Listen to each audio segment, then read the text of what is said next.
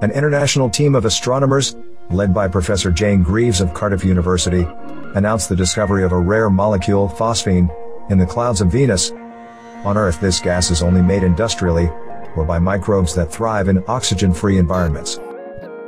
Astronomers have speculated for decades that high clouds on Venus could offer a home for microbes, floating free of the scorching surface, but still needing to tolerate very high acidity. Detection of phosphine molecules, which consist of hydrogen and phosphorus, could point to this extraterrestrial aerial life. The new discovery is described in a paper in Nature Astronomy.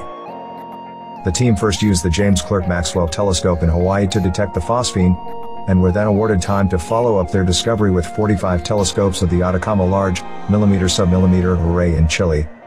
Both facilities observed Venus at a wavelength of about 1 millimeter, much longer than the human eye can see. Only telescopes at high altitude can detect this wavelength effectively.